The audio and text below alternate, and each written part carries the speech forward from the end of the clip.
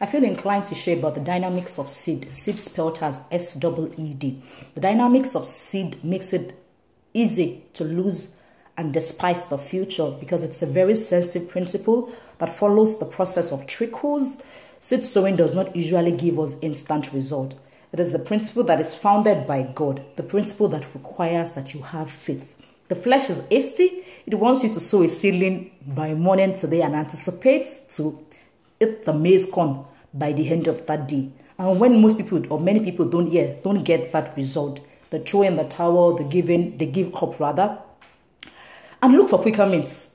Some people want that prophet, I'm included, to lay his hand on their head or that teacher of God or whatever anointing or whatever grace that you desire. And by the end of that week, they want to be able to manifest at his level. It was as just when I was, it was about when, like the same way when I was learning hair making. My boss was an expert. She was very good. And I wished that I would be able to weave and style hair the way she did by the end of that week. You and I agree that it's not always realistic. But you must be willing to sow. You will not always get instant result, but you must be willing to sow, to have patience, to nurture it with discipline and care. And then the dynamics of seed requires that you accept that you will not always see the end of the stairs. You will not always see the end of the stairs.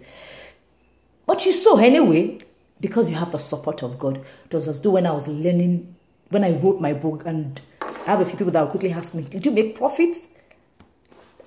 Well, I, I know that day that was out of care and love, but I know when people were asking because they thought the intention was profit. I said, I have obeyed the instruction. I have sown the seed, and that is what is important. I have I would feel worse years down the line if I remember that I had that instruction and I did not obey it.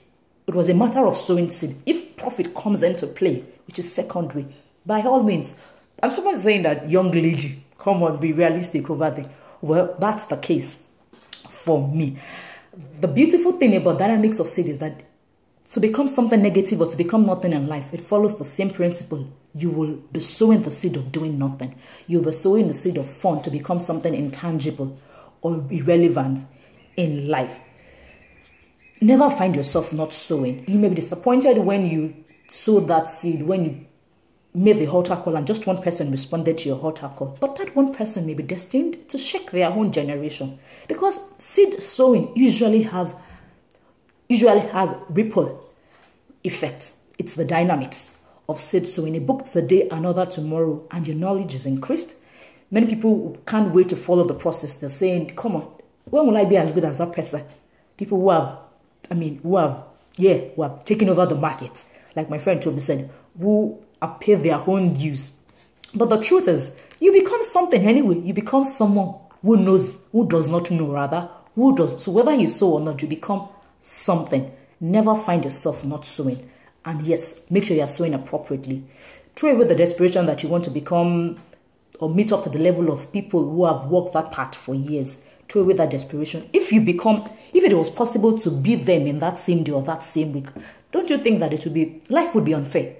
Life could be unfair. So you follow your track, stay on your track, stay on your lane, but make sure that you're sowing. Never find yourself not sowing. Reverend Arago once said that don't just be a student of privileges and benefits, but be a student of processes and responsibilities. And like I would usually say as well, if it is void of process, it is most likely, most likely that it is void of God.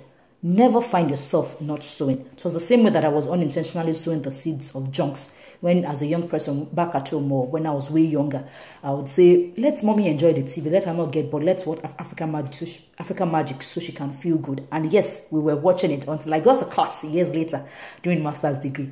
And we're supposed to be talking about Greek, Greek crisis and some things on the news. And I knew nothing. Apparently, I had not been sowing appropriately. I had not been sowing into the paths that I was interested in in the future. So never find yourself not sowing. Make sure that you're sowing appropriately.